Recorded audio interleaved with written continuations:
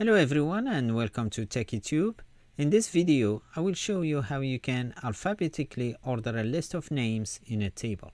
The same concept applies to text format items or numbers. The first thing you want to do is to highlight the table. Then select Home tab, go to the paragraph section and click on A to Z button. This will bring up a sort text panel. Now, I don't want to include the header of the table, otherwise it will be sorted with the rest of the rows.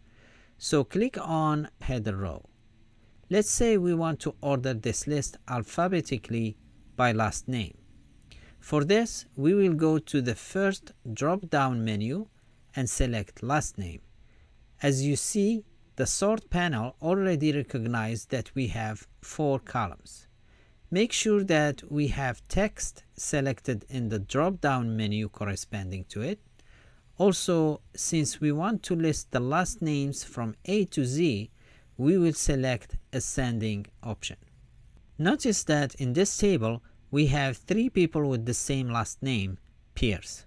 Also, two people with the same last name, Ben Salem.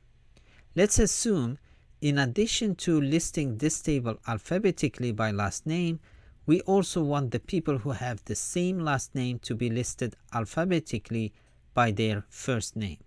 So what we will do is to go to then by drop menu and we will select first name. Same as before, we will select text in the drop down menu and we will select ascending. Click OK and the job is done. As you see, the table is ordered by last name and people with Pierce last name are listed alphabetically by first name. Same principle applies if we want to list the table by amount due. Click A to Z and select amount due on drop down menu. Select number on the second drop down menu this time.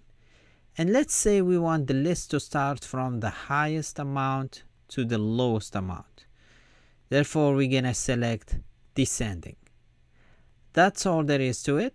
Thank you for watching and I'll see you in my next video.